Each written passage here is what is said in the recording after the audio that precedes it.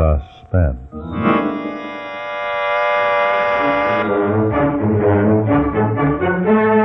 Your host is Autolite, world's largest independent manufacturer of automotive electrical equipment. Autolite makes over 400 products for cars, trucks, tractors, airplanes, and boats in 28 plants from coast to coast.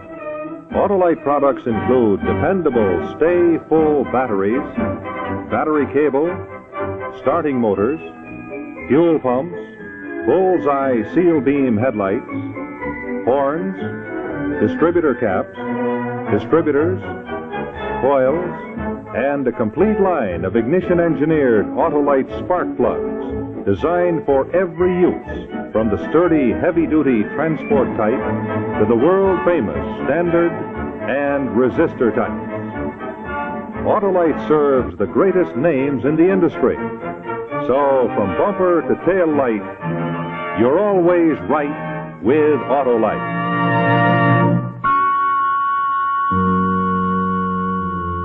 And now, Autolite and its 98,000 dealers everywhere present Suspense.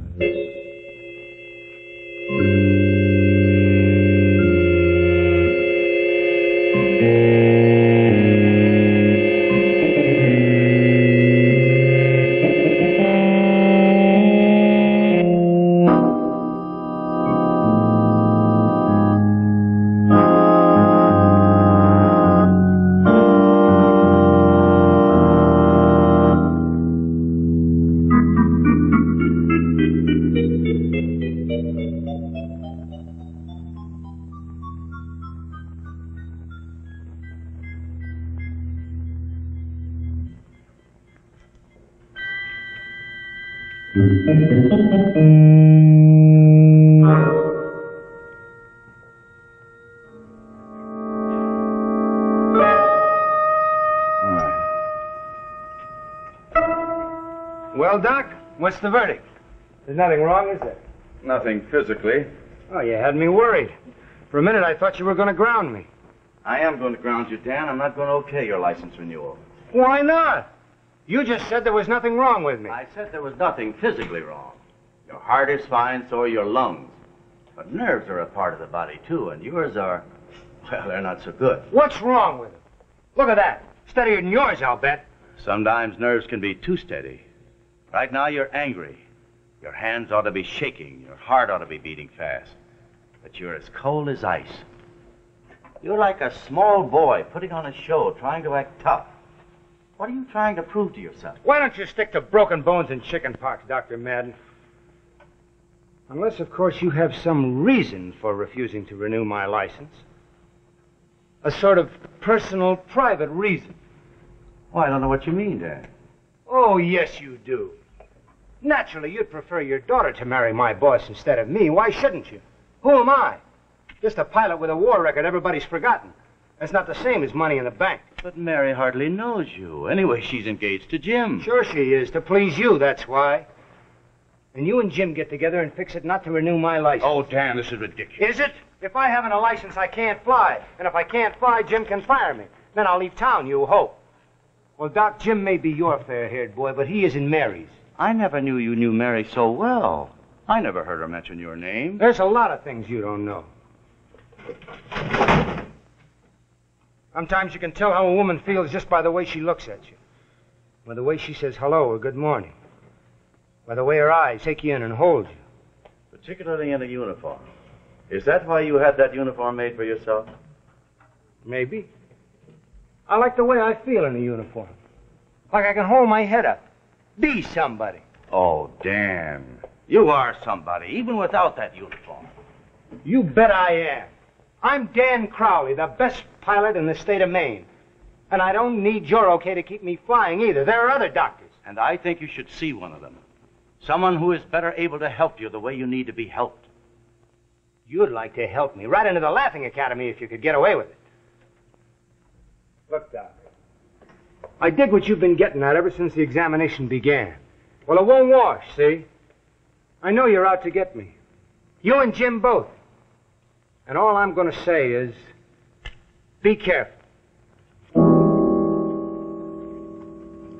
I like to keep it close to me if it's all the same to you. It's okay with me. After all, you have a license for it, and I know it makes you feel better. A lot better.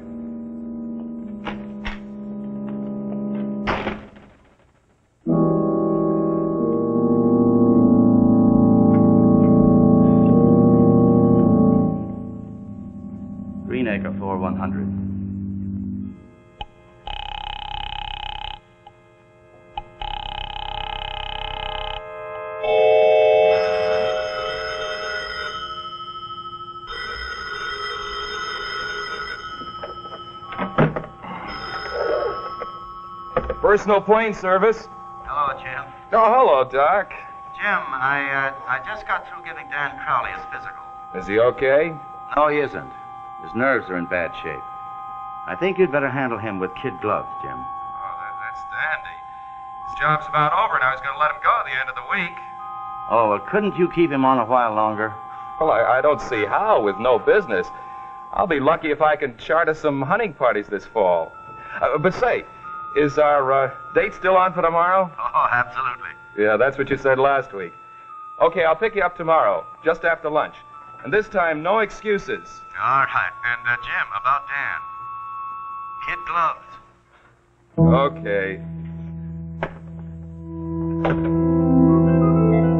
How do you do? Well, hello. Uh, are you a good pilot? Oh, yes, ma'am. As good as they come. Are you safe? Most of the time. Of course, I, I sort of lose my head when I'm around a, a pretty gal. Well, I'd like to engage your services for a wedding party next month. Oh, you mean I'm hired? Mm-hmm. Hi, Jim. Hello, baby. Now look, I didn't come here to smooch with you. What about that hunting trip tomorrow? Well, it's all set. Now, look, you have to tell me where your cabin is. I've got to make out a flight plan. Oh, Lake Wanabega. Wanna what? Wanabega. W A N A B A G A. It's Indian. I see. And it's about 18 miles west of Belleville. Cabin's on the east shore of the lake, uh, not far from the Captown Road Fork. Got it? Yep, I hope so. You think your father will be able to leave his beloved patients and get away? Not unless we practically kidnap him. Well, I can hit him over the head with a blunt object. Oh, that seems a little harsh. You take one arm, I'll take the other, and we'll both pull. I'll have my rifle along just in case.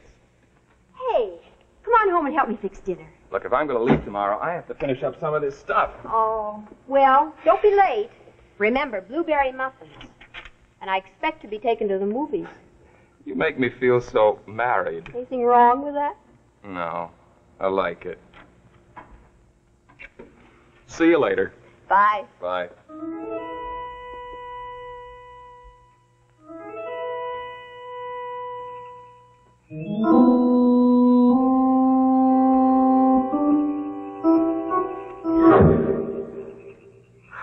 Dan, you frightened me. What are you doing here? Waiting for you, Mary. Why? I thought maybe we could have dinner together or something. I'm having dinner with Jim. Thank you very much. Are you sorry? Sorry enough to break your date for me, honey? Careful. It's loaded. Good night, Dan. Some other time, baby. You and me.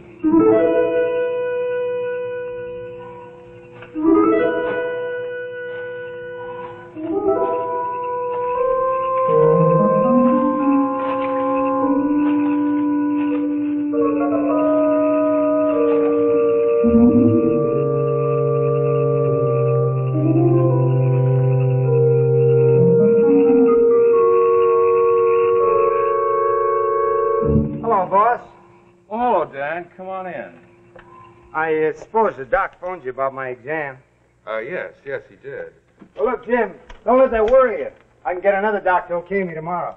Well, as a matter of fact, Dan, now that the season's over, well, there won't be much flying to do. And, My services are no longer required? well, yes, well, that's about it. Sorry. Oh, why be sorry? I understand. You know, if I had any business, I. Sure, sure, I know.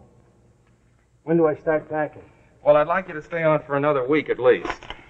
Take care of things until I get back. Are you going somewhere, Colonel? Yeah. I'm going on a hunting trip with Doc. I didn't know you were a hunter. Well, I, I'm not, not really. But it'll be kind of fun to get out of town for a while. Ever since I was a kid, I loved hunting. I had a 22 when I was only 13. Squirrels, chipmunks, rabbits. Pow, pow, pow. And then I got a 30-30 and some real hunting. But then in the war, Yeah, I know, Dan. Never mind. I was in the war, too. sometimes you're kind of chicken, boss. Okay, so I'm chicken. Well, I guess I'll be shoving off. Have a good trip. Thanks.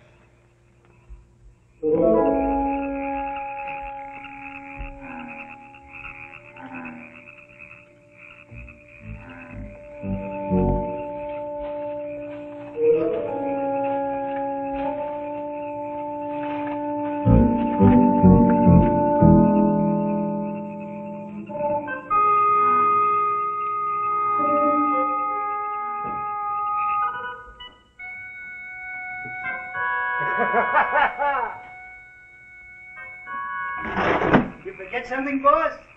Dan, where are you? You can't see me, huh? But I can see you. You got your right hand in your pocket, haven't you, Jim? And now you're reaching for the lamp switch.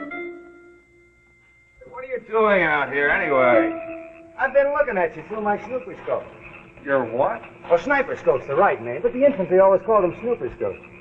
Ever see one? No. I picked it up in the islands. It's quite a gadget. Here, let me show you. You see? This is a telescopic sight. And right here under the barrel is a spotlight with its own battery. But here's the trick it's infrared light. So?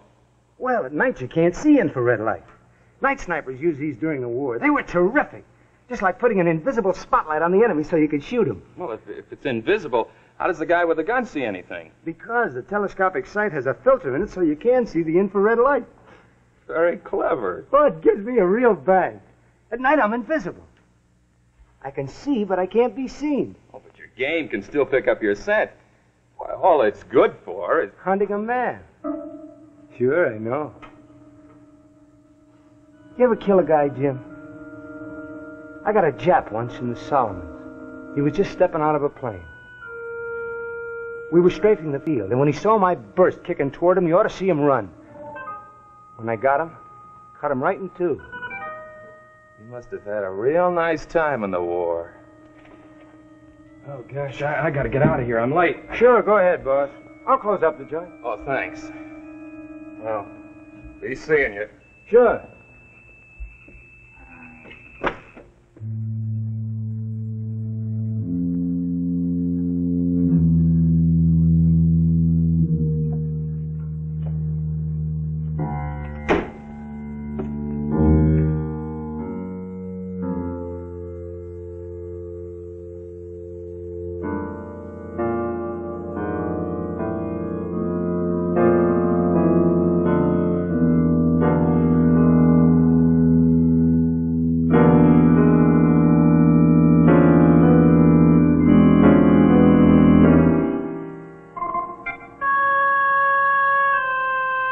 On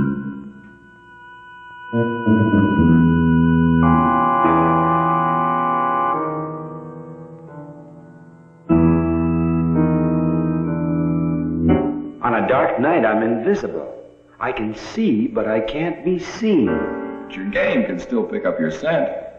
All it's good for is. Hunting a man. Hunting a man. Hunting a man.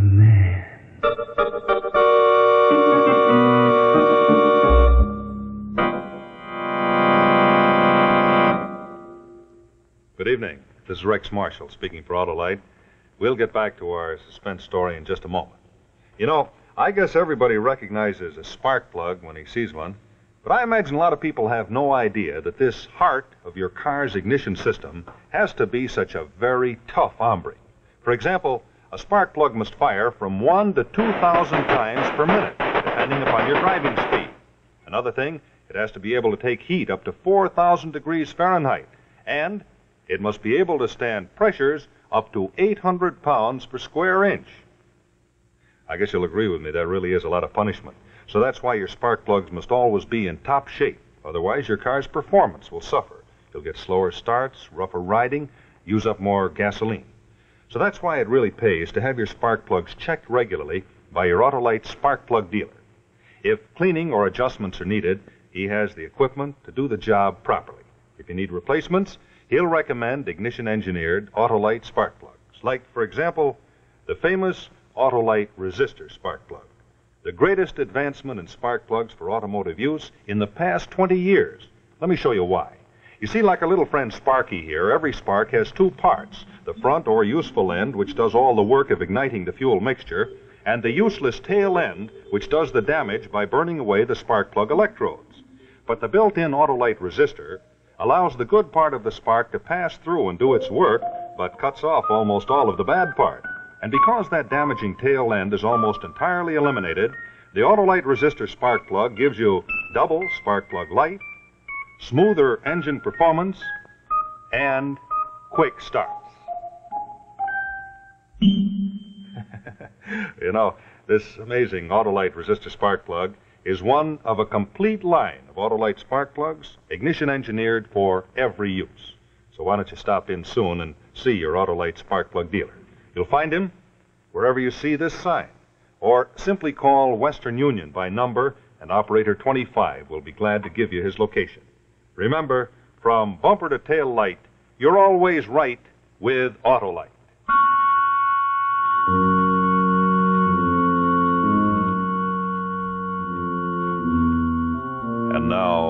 The second act of The Invisible Killer, starring Jackie Cooper and John Dall.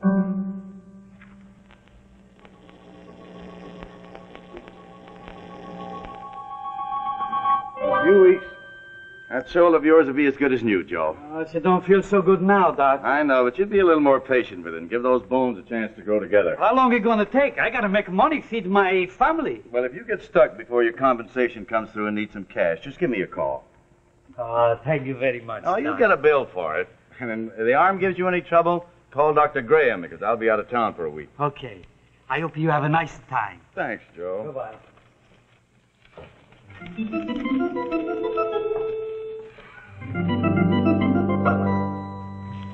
Hey, Come wait a on, minute. right You at can't do that. that. Phone may ring oh, again. Yeah, somebody may have a baby. Or an ingrown Hey, toenail. that's right, Mrs. McPherson's baby. I've And got be to. delivered by You're Dr. coming Graham. with us. Come on. Come on. Hey. Got to go.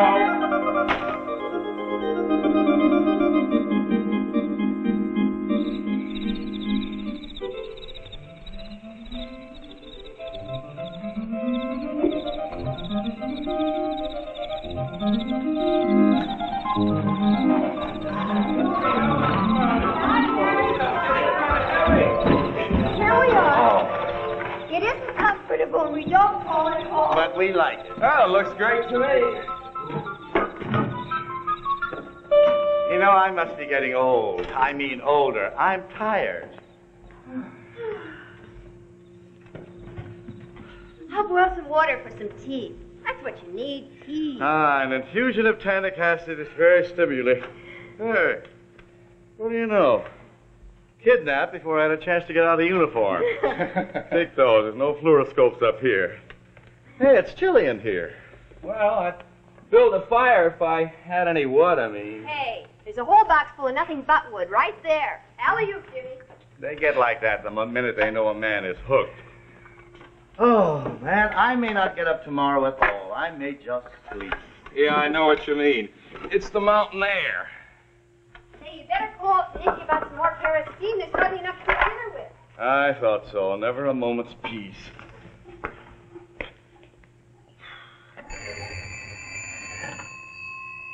Better put most of the kindling in the middle there, Jim. Who's building this fire anyway? I got my own system.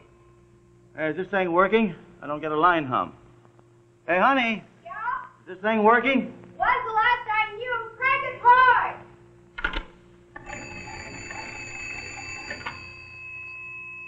Well, the line, line sounds dead.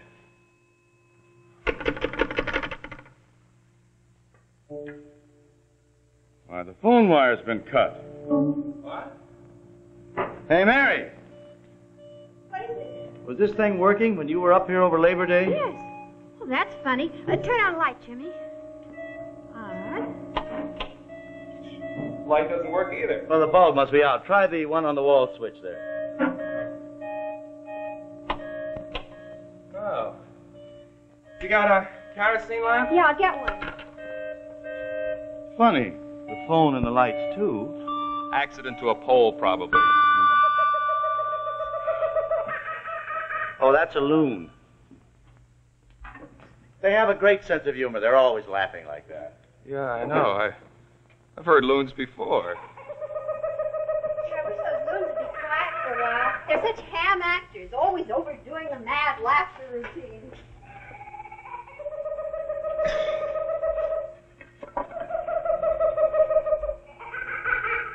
Here, see what I mean? That wasn't any loon. What was it? What do you mean? That was a man. Oh, no. Who'd be up here doing bird calls at this time of night? Well, only one person I can think of. Why, Jim, it couldn't be. I don't know what you guys are talking about. We're talking about Dan Crowley, Mary. Just like him to put a kid trick like this.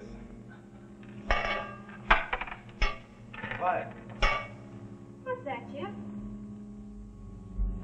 Somebody throwing pebbles at the window.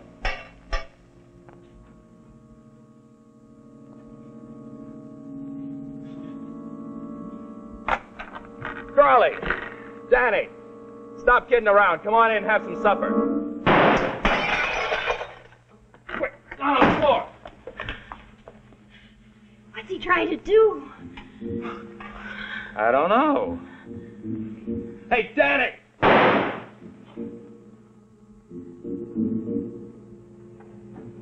Hunt. But that doesn't make sense. What it does to him, Mary. Uh, better move over there.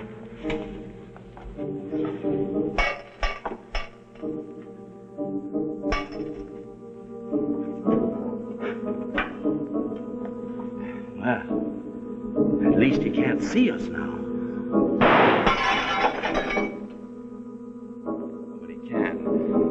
He's got a thing called sniper, sniper scope on his rifle. He showed one to me yesterday. I didn't realize how he planned to use it. Mary, are you all right? Yes, yes, I'm fine. He's a better shot than that. He deliberately missed you. He's deliberately missing all of us. He's playing with us. Milking the game for all the kicks he can.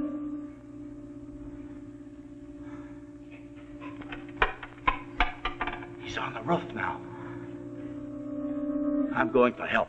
No, no. He can see you out there in the dark. Maybe I can do something, Jimmy. Dan likes me. Doc! Daddy. Daddy, you're hurt. No, I just grazed my shoulder. It's nothing serious. It's serious enough. I'm going to talk to him. Daddy! Daddy, it's Mary. Listen to me, Daddy. Daddy, Well, that settles it. You'll run right into his trap. Where's your flashlight, Doc? On the table. Jim, I don't want you to go. He'll kill you. Sweetheart, there's nothing else to do.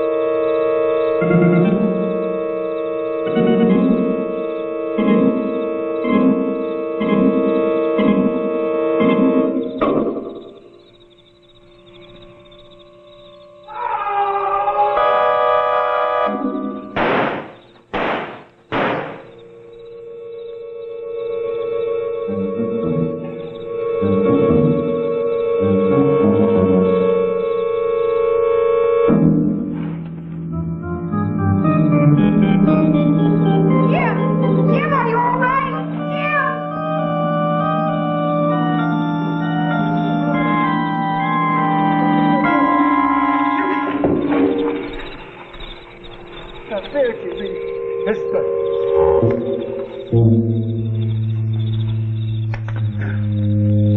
Mary, over here. Jim! Jim, are you all right? Yeah. These goggles showed up the infrared.